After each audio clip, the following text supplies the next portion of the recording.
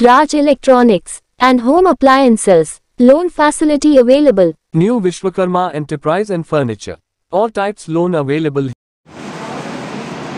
आपको बुलाने का उद्देश्य है कि मैं सुनील बिरादार मेरा प्रॉपर गाँव गढ़ी गाँव का है तो हुलसूर तालुके में आता है मैं तकरीबन 16 साल से कांग्रेस पार्टी में काम कर रहा हूँ और सोल 2007 से मैं कांग्रेस पार्टी में काम कर रहा हूँ दो हज़ार आठ में मुड़े साहब को टिकट मिला जब हुलसूर क्षेत्र नया आया होता जोड़ा सोता तो आने के बाद कांग्रेस पार्टी की हालत वहाँ बहुत ख़राब थी।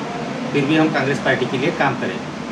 और मुड़े साहब को हमारे गाँव से हम जितना हमारे को ज़िम्मेदारी सकें और लीड दी। बाद में 2009 में धर्म सिंह साहब का काम करे।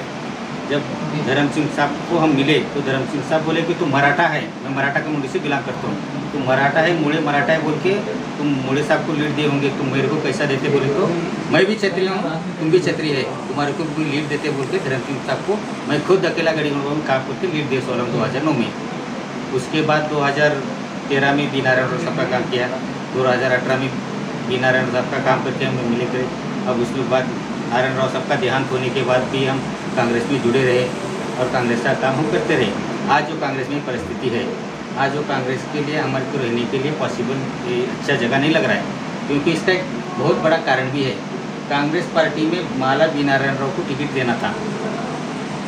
इसकी एक वजह, मैं रिज़ाइन करने का एक वजह माला बी नारायण राव को टिकट नहीं दी, बोल के मैं कांग्रेस को रिज़ाइन कर रहा हूँ। और दूसरी वजह, अब जो परिस्थिति है, कांग्रेस पार्टी में जो लोग अब कैंडिडेट के जो लोग हैं वो हमारी लोकल राजनीति हमारी ख़त्म करने का सोच के हमारे गाँव में हमारे विरोधियों को बल दे रहे कांग्रेस वाले ये कांग्रेस वाले कुछ ख़त्म करना बोल रहे तो हम छोटे लोग हैं हम ग्राम पंचायत तालुका पंचायत झटपी पंचायत करने वाले लोग हैं।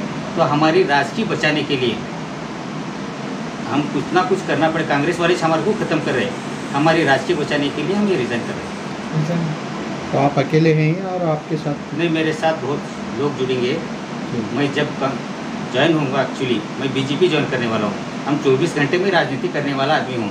और तो अब कौन सी तो पार्टी खोना पड़े, राजनीति करने के लिए। इसके लिए हम बीजेपी चुने सो है। जब भी मैं बीजेपी में ज्वाइन होऊँगा, आज या कल, होने के बाद मैं, मेरे पूरे दोस्त है, पूरे तालुके में हमारा नेटवर्क है मैं शिव संग्राम संगठना बोल के 2005 में शुरू करा था। तो पूरा तालुका में हमारी 57 शाखा है। हमारे सब लोग, दोस्त ये है। उनको सबको चर्चा करके सबको हम ज़्यादा से ज़्यादा लोगों को बीजेपी में ला के हम बीजेपी को जिताने की पूरी कोशिश करेंगे